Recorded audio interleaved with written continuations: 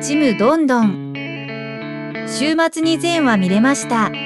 1話ごとに泣いて見てました。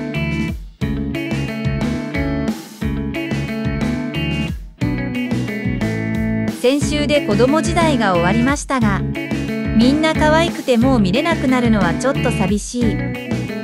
今日から沖縄出身の黒島結菜さんが登場とのことで家に帰ってみるのが楽しみ。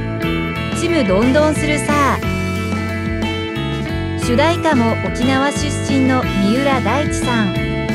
さんさん、とても良い曲ですね。ずっと頭の中で流れています。あ、あと今走っているこの道。うるま市の与那城です。懐かしい気持ちになれてとても好きです。